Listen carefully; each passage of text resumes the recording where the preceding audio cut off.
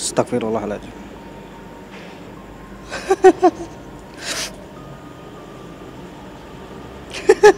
Astagfirullahaladzim. Saya sepertinya energinya mulai Ya, mulai terasa di sini sangat kuat. Oke, dari Kanita semakin kuat ya energinya. Dari ke sini. ini baru di lantai bawah energi sudah begini ya. Apalagi kalau sampai kita naik ke lantai atas. Makanya saya di sini melihat bahwa di sini ada sosok kepala dan juga banyak yang lainnya juga. Cuma pada saat ini mereka tidak tidak menampakkan diri yang terlihat jelas yaitu sosok kepala.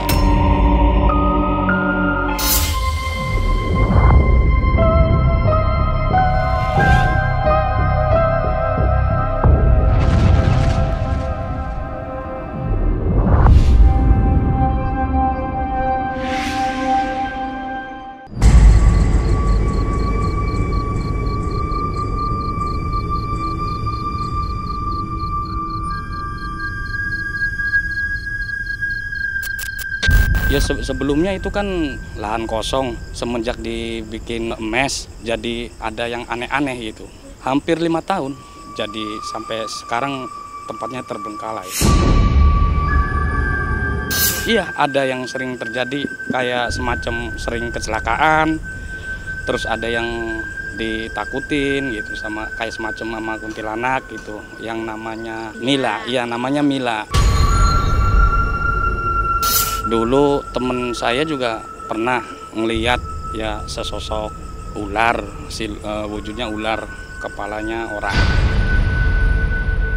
Jadi yang mau dibangun ini gagal terus, entah ada apa, ada yang diganggu gitu ya.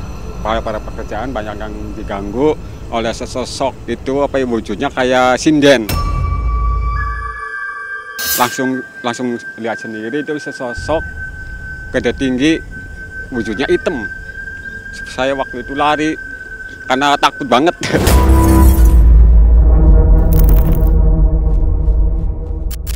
Hai pemirsa Ganjil Misteri, saat ini aku sedang berada di daerah Petukangan Jakarta Selatan. Di sini aku pengen kasih tahu buat kalian bahwa kita lagi explore di suatu tempat yang di mana tempat ini dikenal sebagai tempat yang angker. Di sini kalian bisa lihat sendiri ya, ada gedung di sekitar sini terlihat banyak rerumputan batang-batang pohon yang emang bener-bener angker banget. Konon katanya sih menurut warga sekitar di sini ini udah lima tahun terbengkalai dan dahulu tempat ini adalah eh, tempat buat pondok pesantren atau bisa dikatakan untuk mes anak-anak. Tetapi karena adanya perselisihan, jadi tempat ini terbengkalai gitu aja. Menurut warga setempat di sini sering banget mereka tuh melihat sosok kuntilanak. Bahkan kuntilanak tersebut mempunyai nama. Hmm.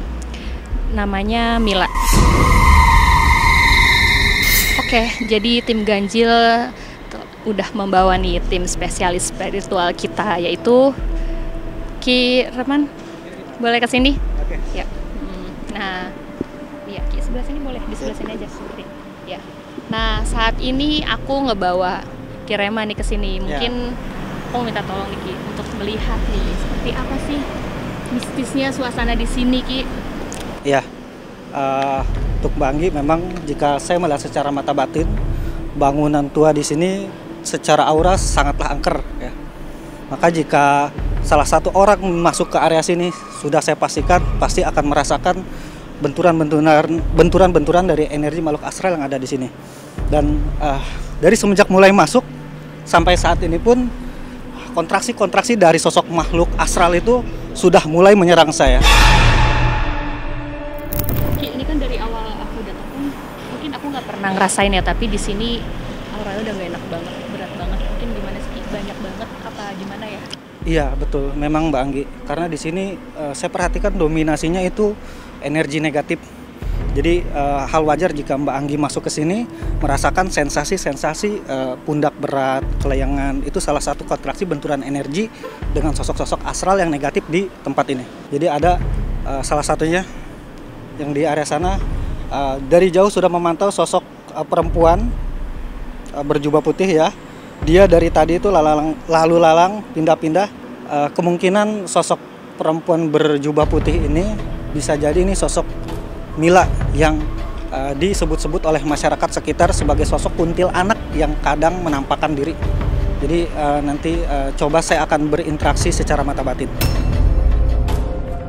Ya, gimana nih Ki Demang setelah melihat suasana atau aura-aura di tempat kosong ini seperti apa? Ya kalau menurut penglihatan saya secara mata batin di sini banyak energi-energi negatif yang mungkin bisa lebih lanjutnya kita bisa langsung masuk ke dalam aja biar lebih jelas kita ungkap di sana ya, seperti itu. Pemirsa, sekarang kita bersama Kirema dan Kidemang akan menelusuri apa sih sebenarnya yang ada di dalam gedung tersebut. Mari kita ikutin.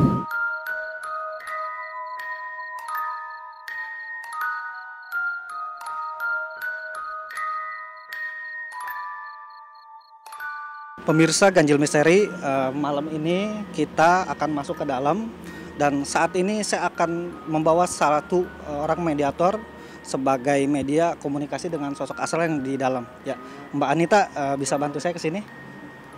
Ya. Uh, malam ini saya akan dibantu oleh Mbak Anita untuk masuk ke dalam untuk merasakan sensasi-sensasi dari adanya sosok-sosok astral di dalam gedung ini. Siap Mbak Anita? Sampai saat ini apa yang dirasain Mbak Anita? Dari awal masuk aja saya udah agak merinding. Ini. Tapi saya tidak tahu kalau di dalam bagaimana lagi karena Ya. energinya juga mungkin beda lagi ya. Ya. Mbak Anita pun baru masuk saja sudah merasakan sensasi dari energi makhluk astral.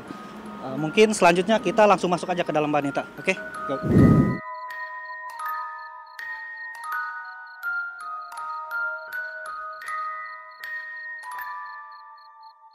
Nah, pemirsa, saat ini kita berada di lantai satu, Satu, ya, lantai ya. dasar ya. Di sini terlihat nih banyak ruangan-ruangan nih. Iya, banyak ruangan kosong. Eh, ini juga banyak. Ada berapa ya ini ya? Ini kalau saya Aku udah mulai merinding. kan di lantai satu ini lebih dari 10 ya. Lebih dari 10. Hmm. Memang Gimana makin ke belakang kayaknya auranya makin nggak Ya. enak nih. justru ini kita sambil ngobrol sebenarnya saya tertarik ke energi yang ke belakang Oh, ini. gitu. Oke, boleh Ya, Ki. jadi- Boleh kita ke belakang Ya. ya, mungkin di mana sih energi yang paling kuat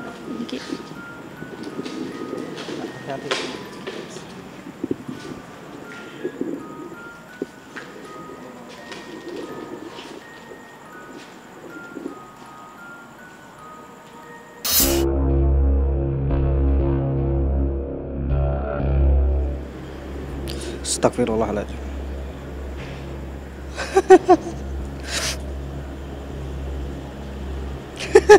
Astagfirullahaladzim. Astagfirullahaladzim. Astagfirullahaladzim.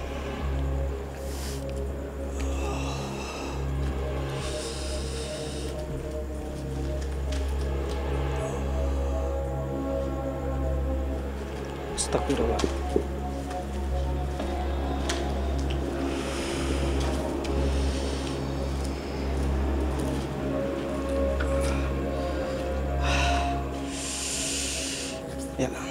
pemirsa Ganjil Misteri. Barusan saya berbenturan energi dengan sosok astral perempuan, mungkin ini yang disebut Mila ya. Dan memang energinya cenderung negatif. Dan dia berusaha mencoba merasuki ke diri saya. Tetapi saya mencoba bertahan ya. Dan sekarang dia ada di area sekitar depan saya sini. Assalamualaikum. Assalamualaikum Gaib.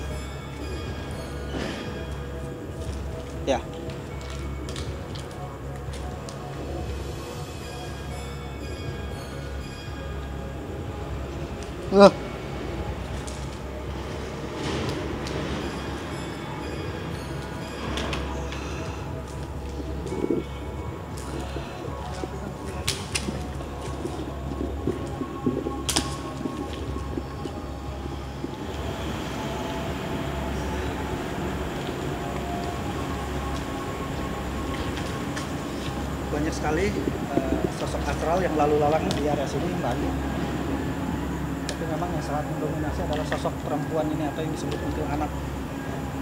Dan dia sangat tidak senang dengan kehadiran kita dan dia sangat merasa terganggu dengan kehadiran kita. Ya. Sampai beberapa kali dia mau merasuki tubuh saya tapi saya tetap bertahan saya mulai tertarik ke satu energi ke sini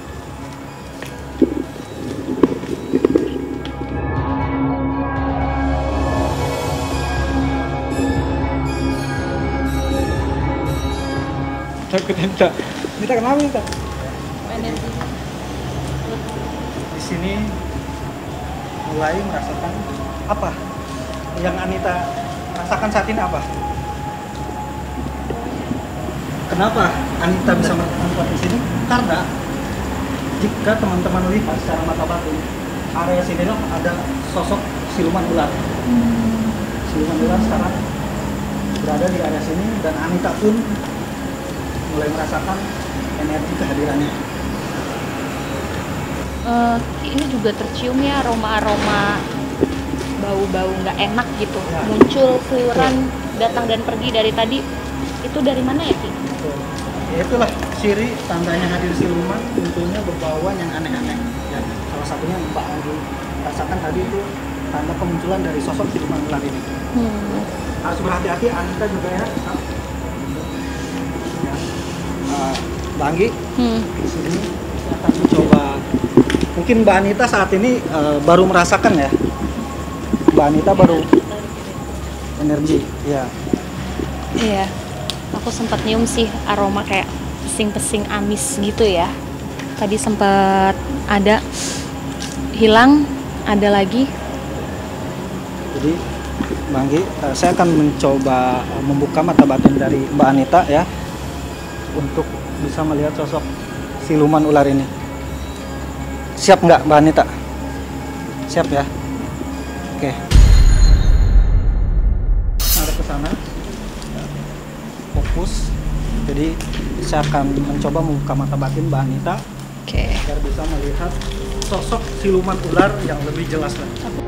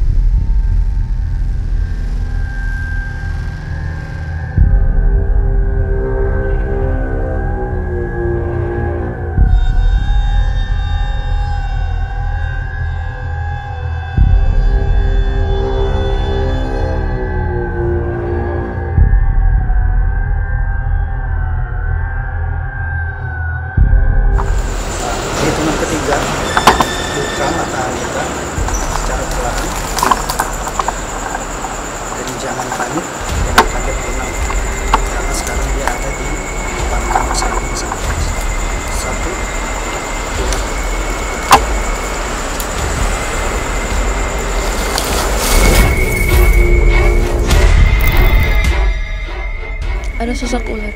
Ada sosok ular yang seperti ki bisa ya. Jelas Anita. Jelas.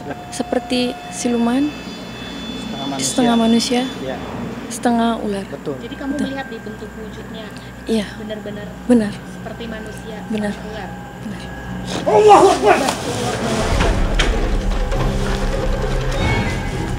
Kak Anita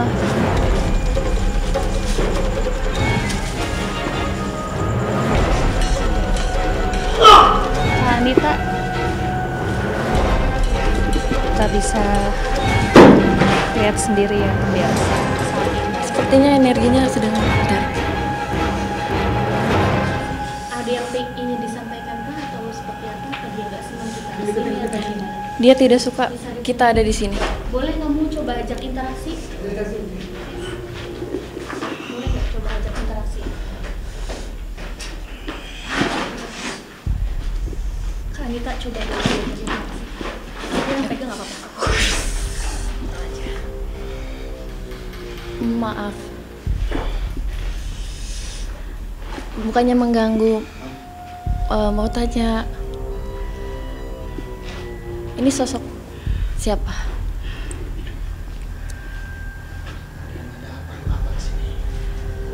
Kita cuman mau tahu tidak mengganggu tidak mengganggu tidak mengganggu ini tempat kami kalian tidak ada berhak untuk menempati tempat ini Perempuan atau laki-laki sih? Perempuan. Perempuan. dia? Mungkin bisa bertanya. Kenapa dia ada di sini? Kenapa dia senang? Kenapa eh, ada di sini?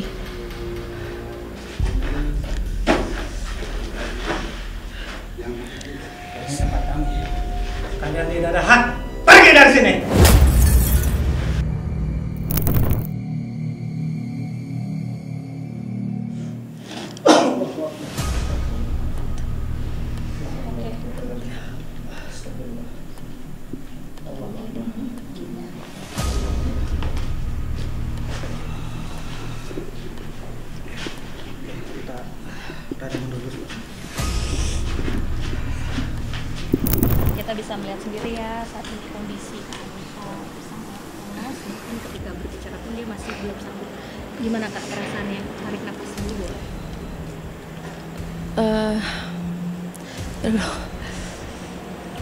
Saya seperti di sana benar-benar melihat sosok siluman. Kak, ada yang terjadi mungkin? Ayo kita berusaha lihat.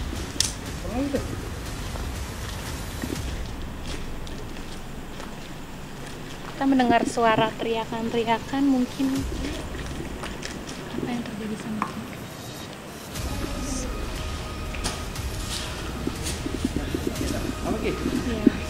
Terus Saya ini. sepertinya energinya mulai Ya, mulai terasa di sini sangat kuat.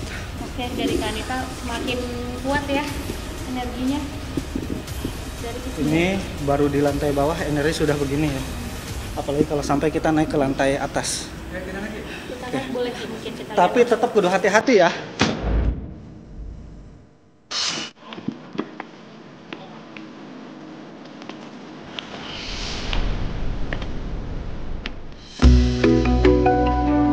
Oke pemirsa, saat ini kita sedang berada di lantai dua yang di mana tempatnya bisa dibilang lebih kuat ya energinya dibanding lantai satu yang tadi. Sekarang kita tanya sama Ki Kireman. Tadi kan kita di lantai satu pun energinya sudah sangat kuat, tapi bisa dibilang nih di sini malah semakin menjadi ya. Iya.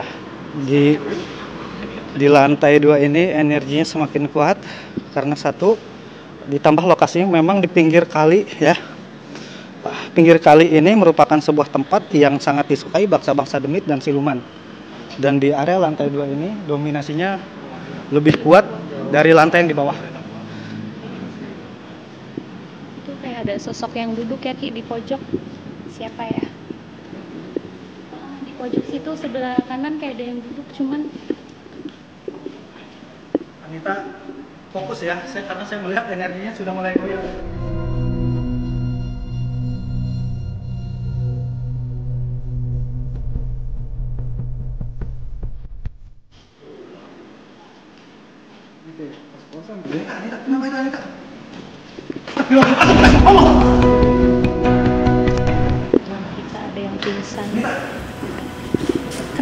Ki? Iya, emang tadi saya juga melihat matanya udah mulai kelayangan, energinya sudah semakin meredup karena kontaminasi makhluk-makhluk astral di sini. Mungkin ada yang coba mau merasuki atau seperti apa nih Ki? Iya, tapi eh, sosok astral di sini mau merasuki, cuman Anita memang masih eh, dalam kondisi bertahan ya. Ya, Tolong dong, air dong, air, air, air, air dong, tolong. Sosok apa Ki yang mulai?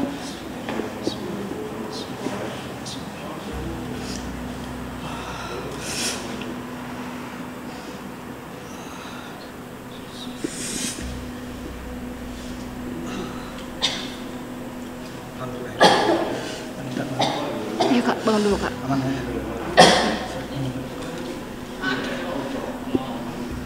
Kita minum dulu.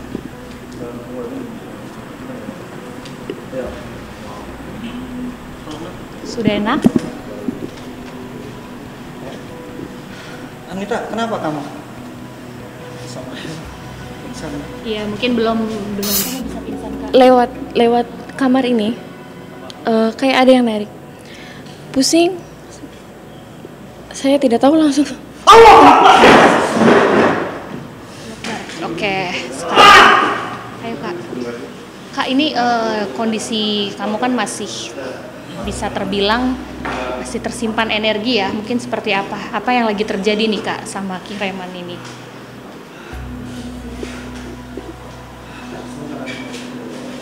Oke, ya beginilah kondisi sekitar. Jadi mungkin ini sosok yang tadi lihat ya. Jadi memang tiba-tiba menyerang saya. Tetap yang mendominasi saat ini masih dari siluman ular itu. Oh, masih siluman ular. Ya. Kenapa Ki kira-kira siluman dari sekian banyaknya nih, tetapi cuma siluman ular aja yang Ya karena ah, dia merasa menguasai di area tempat ini. Dia merasa ratu, dia merasa kehadiran kita ini hanya mengganggu. Ya. mungkin dari mana sih sosoknya asal Ini dia punya cerita buruk sehingga dia begitu nggak terima ya dengan adanya manusia-manusia enggak, sini. memang sosok siluman ular ini sudah ada sebelum ada bangunan ini. Jadi memang dia udah ribuan tahun di area sini dan menetap di area-area pinggir kali situ yang tadi kita lewat. Emang udah di sini. Nah, betul. Betul. Ini kan juga bisa dibilang dekat dengan eh, jalan tol ya, di mana Iya. sering banget nih terjadi kecelakaan. Nah. Nah. bisa dibilang kalau itu ulahnya si siluman ular ini. Ah. Salah satunya adalah eh, siluman ular ini juga berperan gitu. Eh, dia mengganggu konsentrasi orang-orang yang berjalan dalam mengendarai mobil mobil jadi eh, terjadilah kecelakaan. Nah, di area sini juga eh, terdapat kuburan, juga sumber keramat yang dianggap keramat dulunya di bawah tol itu. Sehingga eh, hal itulah yang menjadi di jembatan tol di jalan tol ini sering terjadi kecelakaan. Gitu. Tapi memang yang sangat mendominasi di area ini adalah siluman ular. Pemirsa penikmat ganjil, inilah kurang lebih pemandangan eh, jalan tol yang di mana sering terjadi kecelakaan beruntun akibat siluman ular tersebut.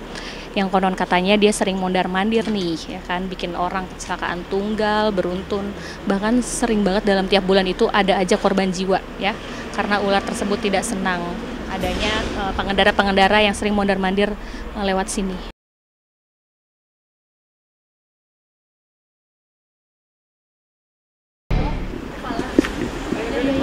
di atas di ruang paling pojok. Oh di ruang paling pojok. Saya melihat- Boleh kita coba Saya pas lihat ke ruang ini seperti ada kepala Lagi ngintip? ngintip dan Ngintip. kembali lagi hanya sebentar gitu. Mungkin Kak Anita eh, kalau boleh interaksi atau coba mungkin Kalau untuk interaksi saya tidak bisa. Oke, oke. Tapi- Di mana bisa ditunjukkan nggak sih Kak tepatnya? Pemirsa, mari kita Kak. Oh di sini. Di atas Jadi ini tempat ini Iya. bangunan memang yang benar-benar belum selesai ya. Sosok kepala ada di atas. Saya pas mau melihat ruangan ini tiba-tiba saya lihat ke atas ada sosok kepala cuma mengintip saja. Ya, di sini ada sosok berkepala, sosok kepala yang mungkin secara mata batin di sini sosok ini sering kali mengganggu, mengganggu di sekitar ini lingkungan sini termasuk juga di perjalanan di jalan tol sebelah sana itu makanya saya di sini melihat bahwa di sini ada sosok kepala dan juga banyak yang lainnya juga. Cuma pada saat ini mereka tidak tidak menampakkan diri. Yang terlihat jelas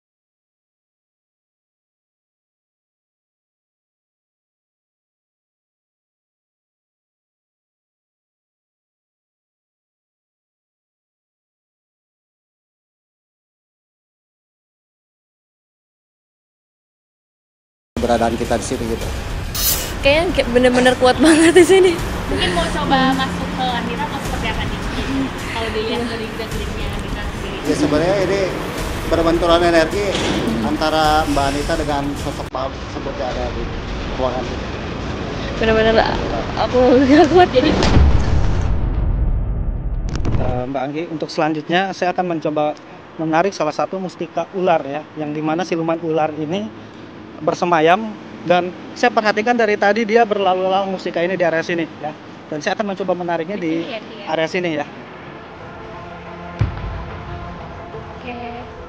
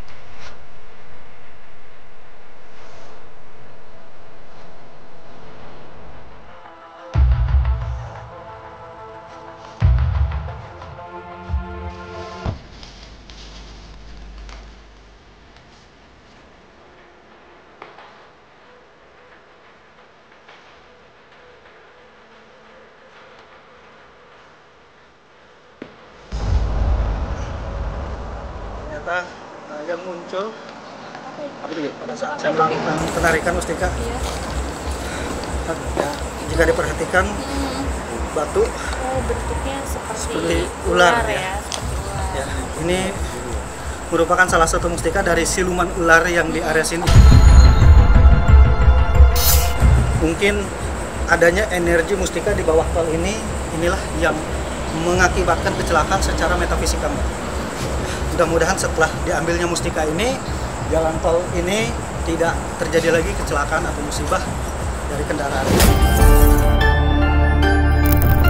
Oke pemirsa penikmat ganjil misteri, selesai sudah penelusuran kita, eh, penelusuran bangunan yang terbengkalai dan tidak pernah terselesaikan karena banyaknya misteri-misteri yang ada di dalamnya sehingga para pekerja pun tidak ada yang sanggup untuk menyelesaikan bangunan ini. Jangan lupa saksikan ganjil misteri dan jangan ngaku spiritual kalau belum ada di ganjil misteri.